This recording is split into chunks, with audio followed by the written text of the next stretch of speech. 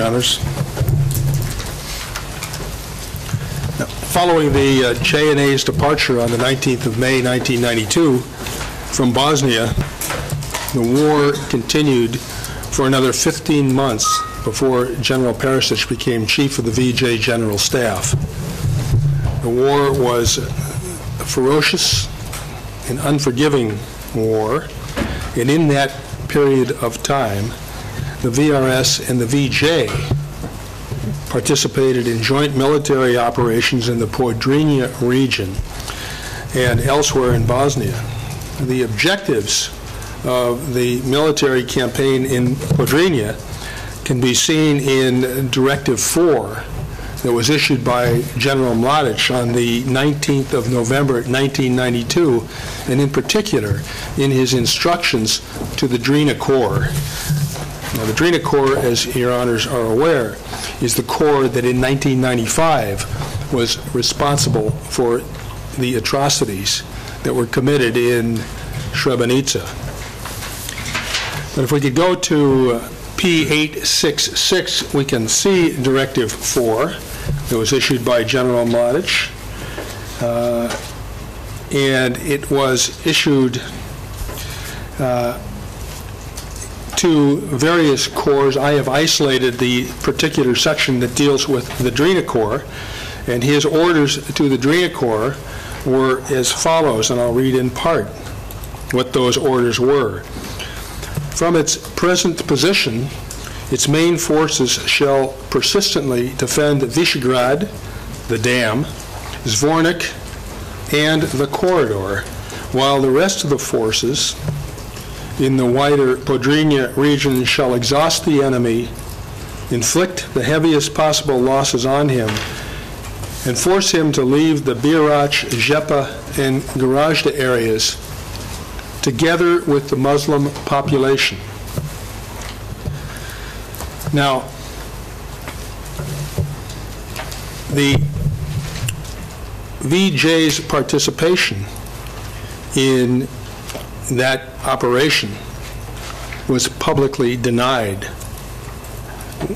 We have submitted to your honors a series of exhibits, uh, which are exhibits from the Uzice Corps, VJ Corps that was participating in the operations in the Podrinja region.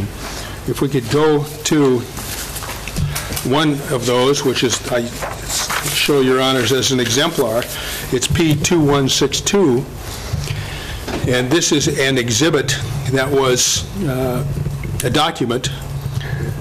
It was a, uh, to the command of the Drina Corps, issued by the commander of the Uzice Corps, that was General Ojdanic. Now, General Ojdanic is someone who has been convicted in this institution.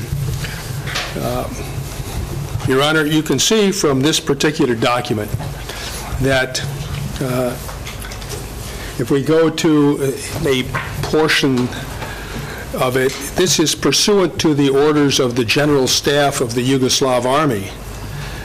He then gives his, his orders, uh, or his, he, he then describes what his forces, the VJ forces, have been doing in the area where they're operating. And you can see from this document, Your Honors, that they have been engaged in combat operations. What is the date of this document, sorry? This is the 27th of January, 1993.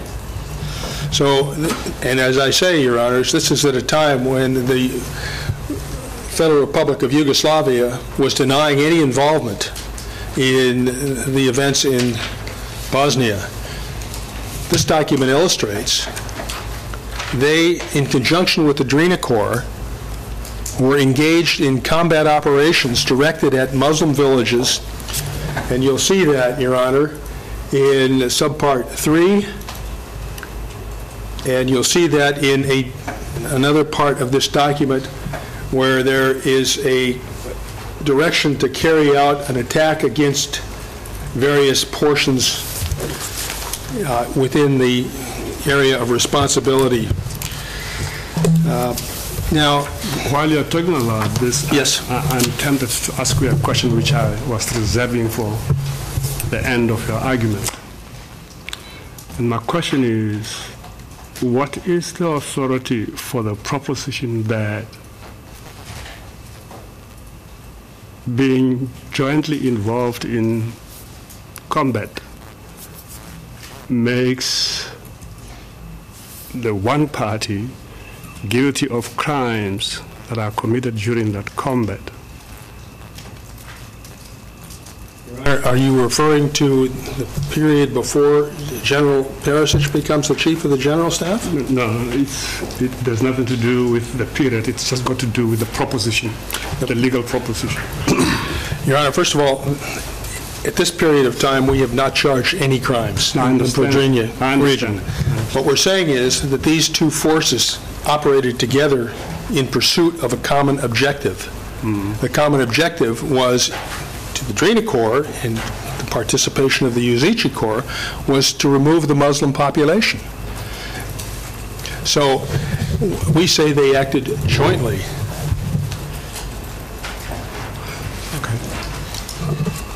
Okay, then I'll ask you the same question at the end of your argument. Well, if I haven't answered the question, I'd like to try to do so, Your Honor. So let me, let me try again. This is evidence that, of the Uzice Corps participation.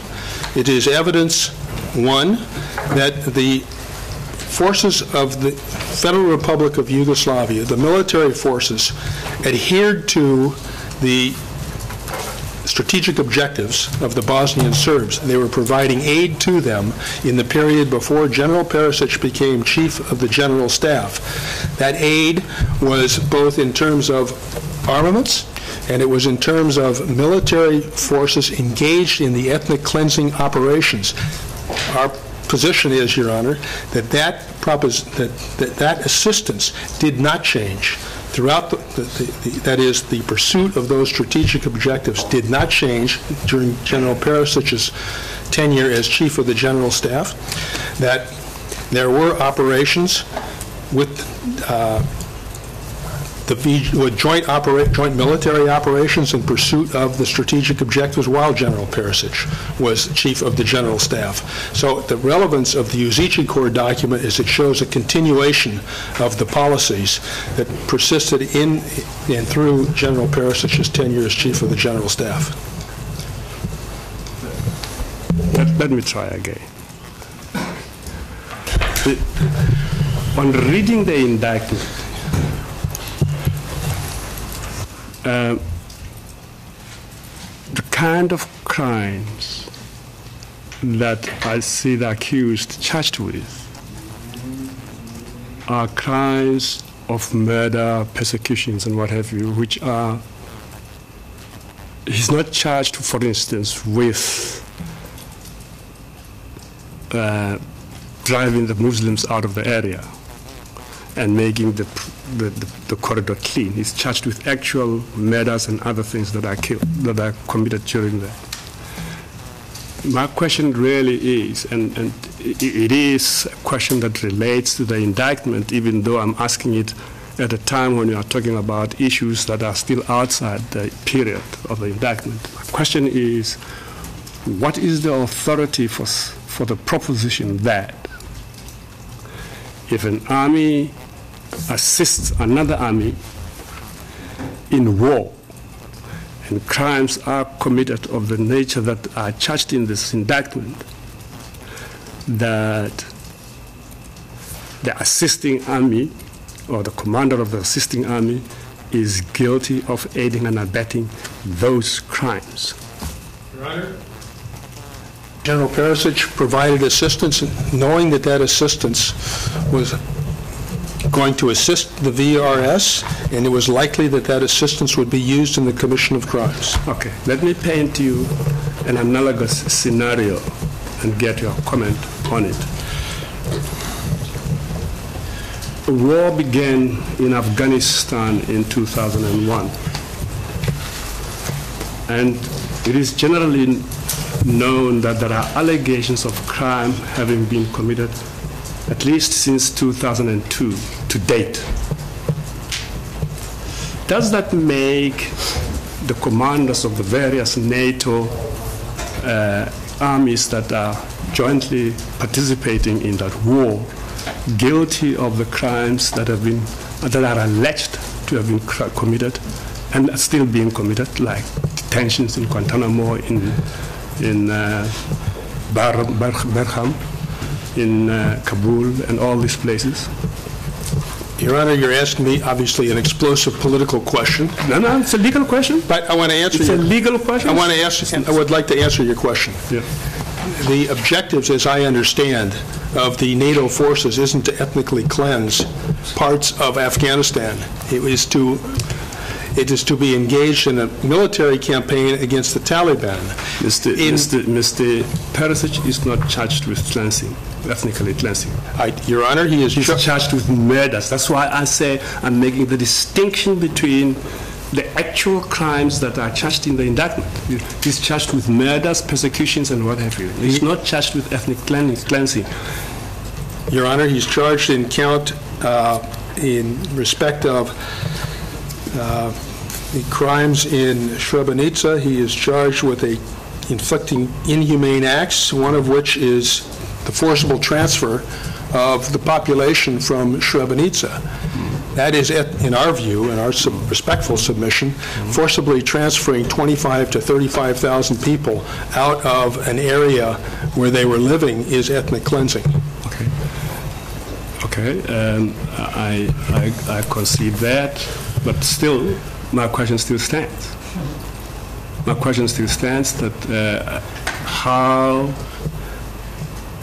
what, what is the authority for that proposition? And I'm saying, can you comment on the, on the analogy that I've drawn? Because all the other commanders of the NATO uh, nations that are involved in Afghanistan are aware of the kind of crimes that have been committed there and are still continuing with that war. It's not a political question, it's, it's, it's an analogous situation to this one.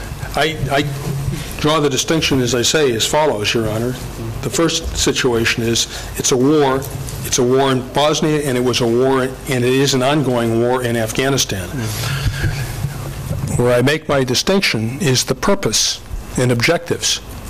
The objectives of the Bosnian Serbs, in part from strategic objective number one, was to ethnically cleanse, if you will, that's a a gross, I mean, a much broader term. It is, it was to separate the Serbs from the non-Serbs. Mm-hmm. That ter, that act gave rise to conduct, long-standing and conduct that lasted throughout the war of the VRS taking populations of Muslims and Croats and removing them from their homes by force. That was no mystery. General Perisic was aware, as we say in our brief, was fully aware of the conduct of the Bosnian Serbs, and with the knowledge of that conduct, he provided them with assistance that enabled them to continue to conduct the war, continue to con- commit crimes, and that assistance that he provided had a substantial effect on the commission of those crimes. So I make a distinction between the Afghan war, where there is not the stated purpose, which is to rem- to remove and ethnically cleanse. I also make one other observation about the Afghan war. In the Afghan war, and I'll take the United States as an example because I'm familiar with the United States' participation in part in that. When there were crimes that were committed by American soldiers, those crimes were prosecuted in the United States. And people are serving life prison sentences as a result of those crimes committed against Afghan civilians. In this situation, there were no prosecutions whatsoever, either in the VRS or in the Federal Republic of Yugoslavia for war crimes. There are some people who are not being prosecuted in the United States. There, there may well be, Your And, Honor. uh, And what, what I'm saying here is, okay, I hear what you say on, on the forcible transfer, but all I'm saying is that there are also other charge, uh, crimes charged against the accused in this case, which, uh, like the murders, you know, um, which were committed in combat or while they were there. And these are similar crimes as the crimes that are being committed in, uh, in the Afghan, Af- Afghan- Afghanistani war. There- There are deaths that were committed in combat, both in Afghanistan and in Bosnia. The crimes that we charge are not combat deaths. They're they're deaths of civilians purposefully Sure. committed. So in Afghanistan, for example, The, the, the detentions are not combat uh, crimes. These are the detentions that have been made after people have been captured, some of them away from the, from the theater of war. We are not charging General Perisic with detentions. Now, I understand that. We're charging General Perisic with murder, which is the likely consequence of providing aid to a military machine whose objective is to forcibly separate the ethnic populations. Okay. It was foreseeable, Your Honor, and General Perisic's assistance makes him guilty of the foreseeable consequences of that assistance, which includes murder, which includes the wounding of civilians, uh, it includes the forcible transfer of civilians. So that's how we make, See, you see, uh, unfortunately, we, we don't seem to be on the same wavelength. Um, the detentions that I'm referring to in the, in the Afghan, Afghan, how do you pronounce this word? Afghan, Afghanistani war. Uh, I know that General Perisic is not charged with such things, but they are the type of crime, like the murders that he's charged with, that are committed away from the theater of war, not in combat. And, and I- but still, they are crimes. They are war crimes, or they are crimes against humanity. And uh, but the point I'm asking simply is, because the armies, the commanders of the rem- remaining United NATO countries that are participating in Afghanistan are aware of the fact that crimes have been committed. Crimes against humanity have been committed. And yet, those commanders are still continuing to participate in that war. Are they then guilty of those crimes that are being committed? That's it's just you either say they are not guilty or they are guilty. If anybody is guilty of those crimes, then they are equally guilty with those people of those crimes. Because they are aware of those crimes being committed, and yet they are continuing to participate in that war. I draw a distinction, Your Honor, between continuing to participate in the war. The position that we assert here is identical to the situation in your hypothetical situation. Yeah, it's identical, you're right. I, that's what I, yes, I don't resile from that, Your Honor. Mm. And, and therefore, if it is identical, then you are saying, yes, they ought to be guilty if anybody else is guilty. Your Honor, I- I I don't want to go that far. I'm saying that that the the situation is identical in terms of the the framework of the- our case. Okay. I won't force you to f- go any far, any you. further than that. Thank you for not going, for, for your answers. Thank you, Your Honor.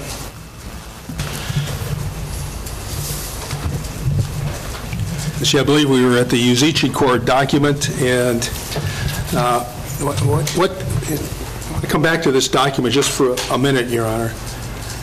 What I want to say about this document is that the the VJ's participation in this campaign really demonstrates the political decision to support the Bosnian Serbs if we look at the map of Bosnia, the ethnic map of Bosnia, after the Podrinja campaign, um, months after this statement, uh, this document I've shown you from General Ojdanic, it looked considerably different. It looked different because Muslims in the Podrinja area were forced out of their homes and into a small geographic region in and around Srebrenica. Uh, in that location, tens of thousands of Bosnian Muslims were facing a humanitarian disaster. And it was a disaster that was only thwarted by the UN intervention or the intervention of the international community.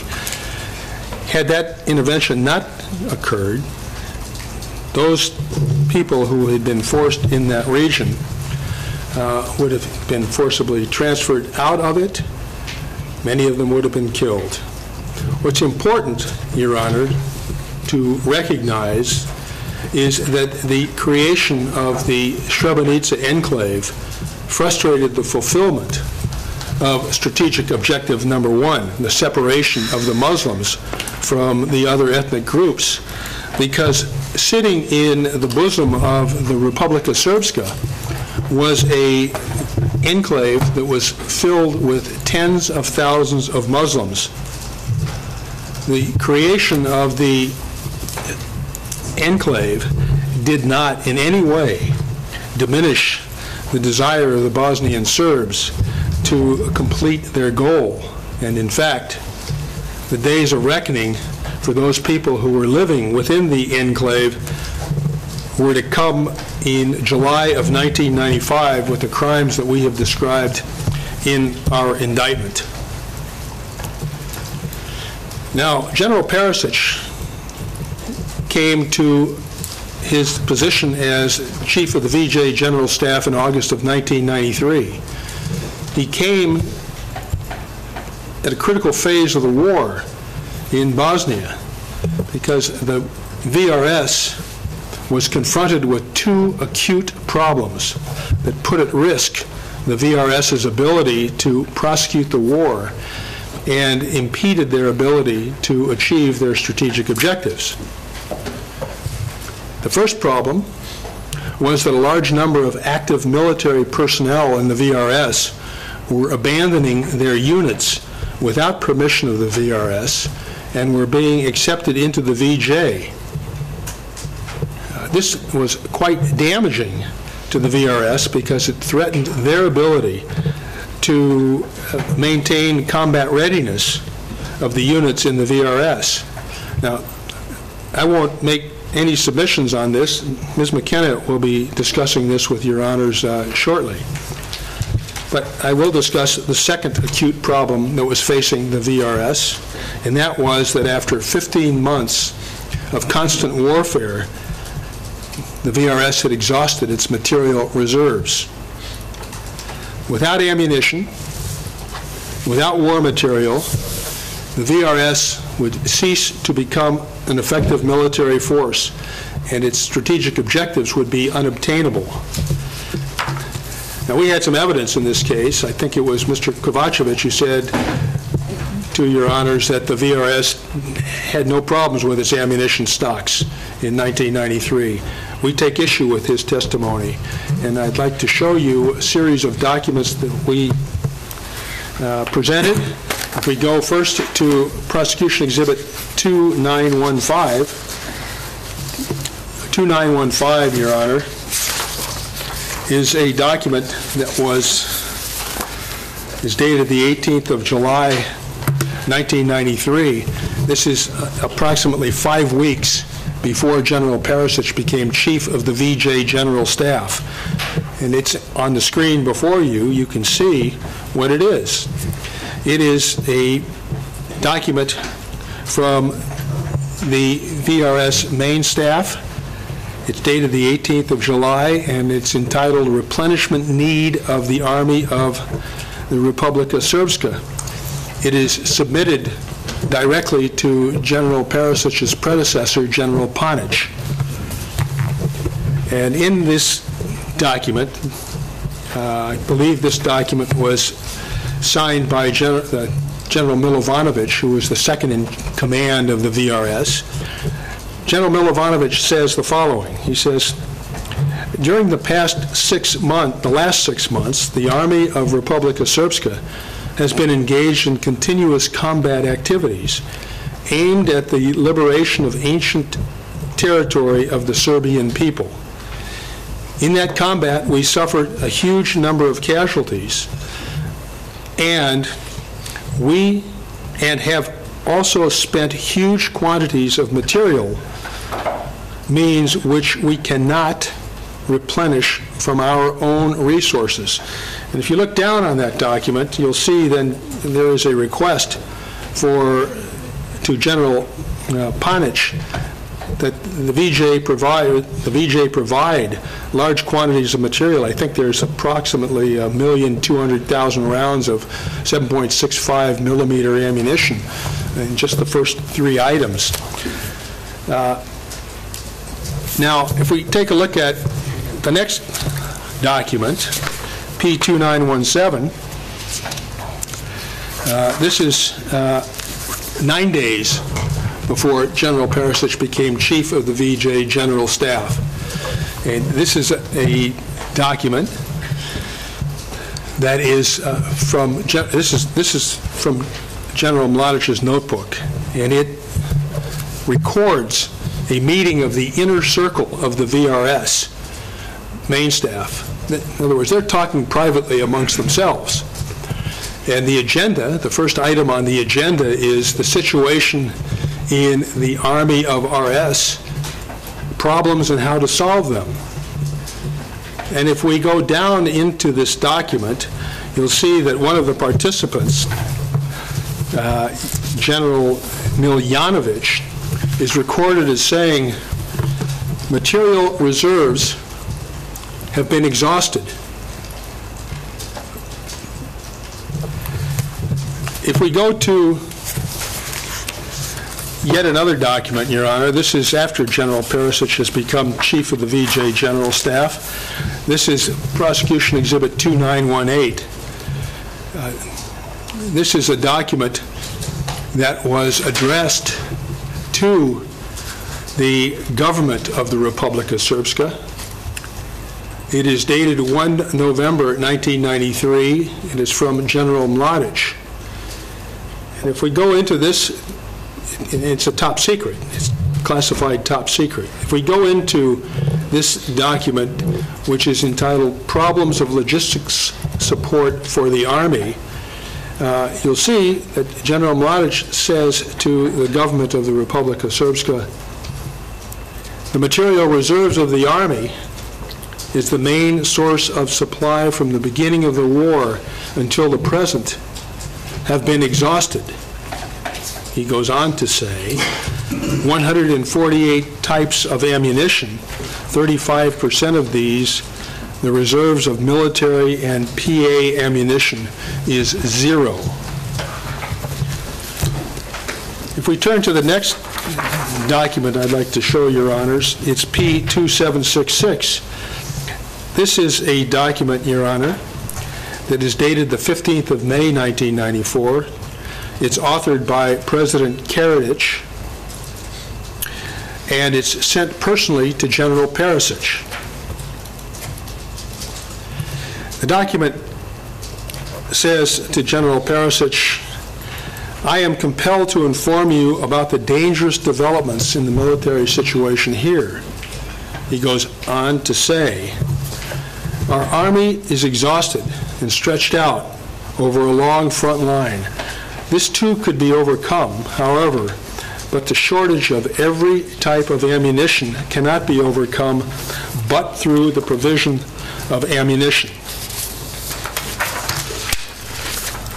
Finally, Your Honors, if we could take a look at P149, which is a document, an internal document. It's an analysis of the combat readiness of the activities of the VRS in 1992. It was it's dated in April, but it retrospectively looks back at the situation of the Army in 1992. And in that particular document, it says, reserves of material resources, starting with those of significance for troops, are exhausted. Goes on to say that material needs for the successful combat operation in the territory are being met from the existing reserves and by relying on the FRY Army. The material base is insufficient, and its characteristics are one of the bullet points says, "Material reserves have been exhausted, and their present levels are critical. There are no imports except from the FRY." So, Your Honors, when Perisic became chief of the VJ General Staff, the VRS was in crisis. Perisic, General Perisic appreciated that grave risk that confronted the VRS. And months after, he appreciated it, and he- and he, he expressed the problem many months later, but the quotation and his appreciation is reflected in the particular quotation that I'm, that he made at the 21st session of the SDS, uh, uh, SDC on the 7th of June, 1994. This is P766. What he said was the following. Both presidents know that their, their positions is such that they can no longer wage war without our help.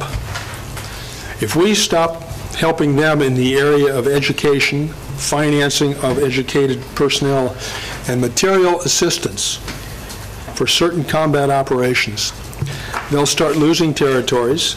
If they lose territories, combat morale will gradually decline, and the enemy will achieve its goal. If the enemy achieves this goal, everything we've done so far will have been futile, and besides, we can't stop the war from spreading to this territory. This means we have to help, somehow. Now, the desperate situation that was confronting the VRS required urgent attention if the FRY's policy objectives in Bosnia were successfully to be implemented. Finding the solution required people to act. It required people to lead. It required a person like General Perisic. And he did act, and he acted in a number of ways. He created and maintained strong and reliable lifelines for the VRS, and in so doing, he aided and abetted the crimes committed in Sarajevo and Srebrenica. First, Your Honor, he created two new formations, the 30th and the 40th Personnel Centers. They were formations within the the VJ General Staff, and they, those formations brought order and stability to the situation of the VJ personnel who were serving in the VRS. Is- Again, Ms. McKenna will make some submissions in respect to the personnel centers. I won't go further. Secondly, to address the critical ammunition and material deficits to the VRS, he- just a minute, Your Honor. Okay, I think I'm solid. Uh, To create those, those deficiencies in the ammunition, the ammunition crisis in the VRS, he requested that the SDC grant him authority to provide the SVK and the VRS with weapons and military equipment on which their war effort depended. The SDC granted him that authority, and you can see that, Your Honors, in Prosecution Exhibit P-1009, which is on the monitor. And this is an order of President Lilic on the supplying of 30th and 40th Personnel Center with weapons and military equipment. There are two parts to this order. The first part is, the Yugoslav Army shall supply the 30th and 40th Personnel Center with weapons and military equipment. Now, we know from testimony that the 30th and the 40th Personnel Centers referred to the VRS and the SVK. Second of all, in this order of President Lilic, the Chief of the General Staff of the Yugoslav Army is hereby authorized to reconcile the requests of the 30th and 40th Personnel Center with the means of the Yugoslav Army and specifically regulate the method and procedures for providing supplies from item one of that order. General Perisic discharged that authority effectively. Without the material assistance Perisic provided from the VJ's reserves, the wars in Bosnia and Croatia could not have been prosecuted, nor could the crimes have been committed. Perisic's contributions had a substantial effect on the commission of crimes in Sarajevo and in Srebrenica. The importance of General Perisic's assistance to the VRS was underscored by defense witness and former RS Minister of Defense Dusan Kovacevic. He stated, and I quote, and this will, his quotation is appearing before your honors, especially in 1995, more combat material was spent than 1994, especially compared to 1993, because during this period from August 1993, uh, from August 1994 until the end of the war, the biggest combat operations took place. There was Podrinja, Srebrenica, there was the defense of the western municipalities. He goes on, he also affirmed his statement, I'm going back to what I said. August 1994 till the end of the war in 1995, that was the period when the greatest combat operations were carried out with the most resources spent, fuel, victims, and everything else in that period. Now, Mr. Thomas, Your Honor, will make submissions on logistics. I won't address this any further. Thirdly, General Perisic assisted the VRS by ordering VJ Special Unit Corps units to Sarajevo to participate in the siege of Sarajevo.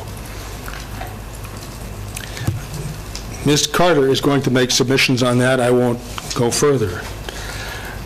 The fourth way in which General Perisic assisted and aided and abetted the crimes in Sarajevo and Srebrenica was by perpetuating a, an environment of impunity. When General Perisic became the chief of the general staff, he inherited an environment of impunity.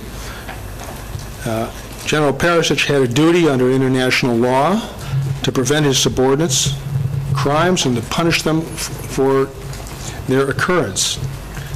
His persistent failure to fulfill his duty to uphold military discipline throughout his tenure perpetuated that environment of impunity.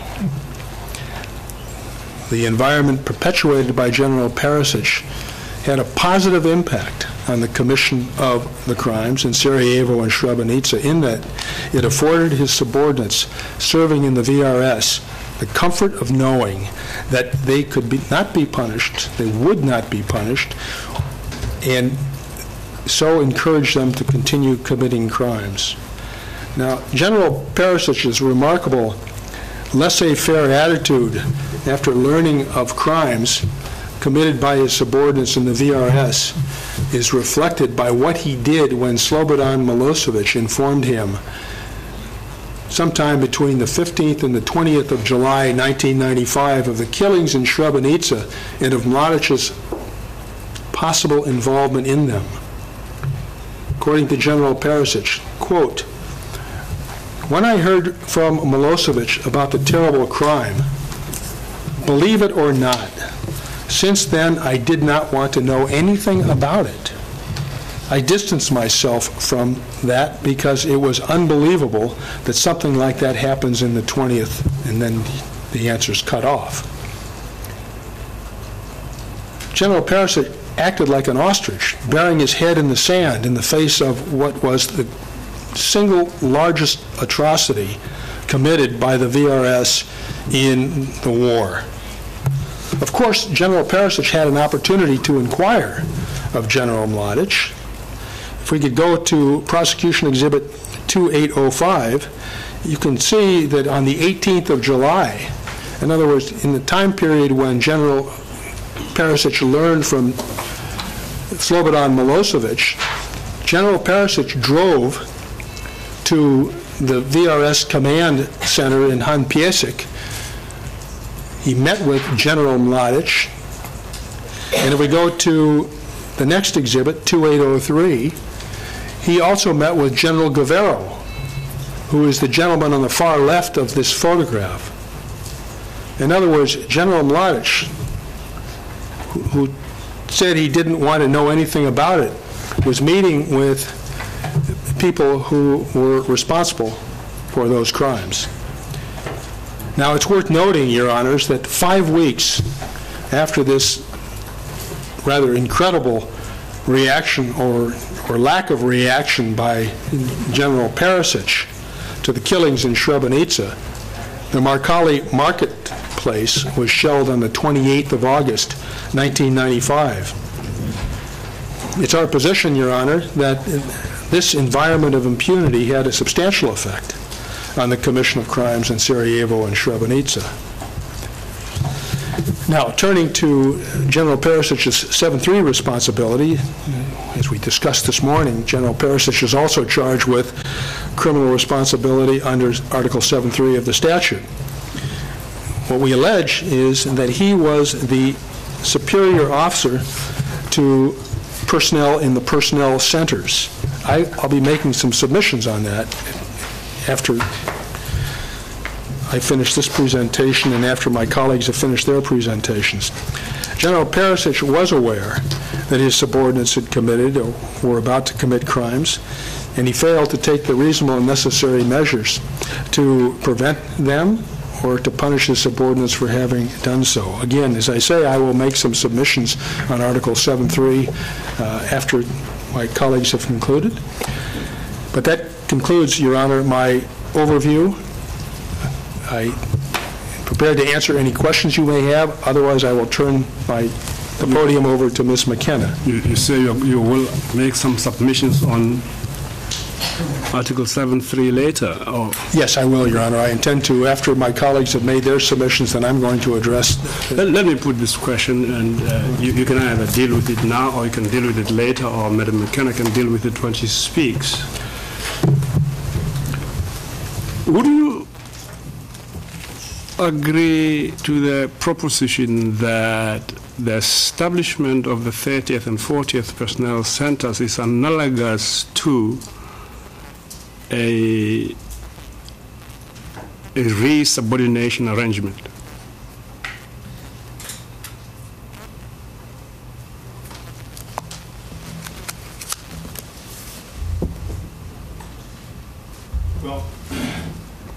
It's actually, a, it's actually a resubordination put on record.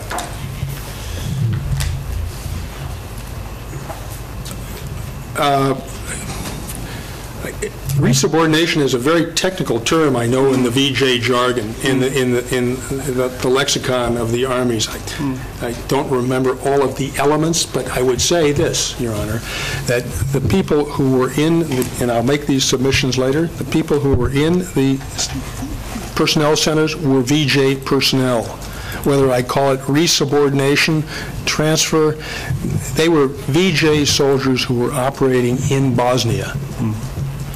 Now, I don't want to characterize it as subordination, resubordination, but they were, our position is they were VJ soldiers. Okay. Um, put aside the word resubordination. If you accept that they were VJ soldiers transferred to another army, would you accept that command and control of them would then go over to the army to which they are subordinated?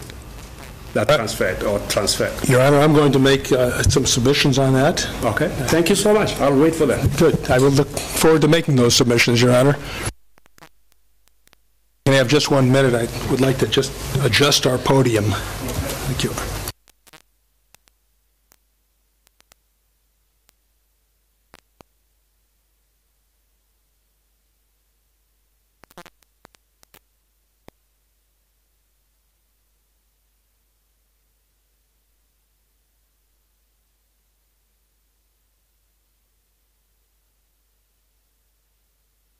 Madam McKenna,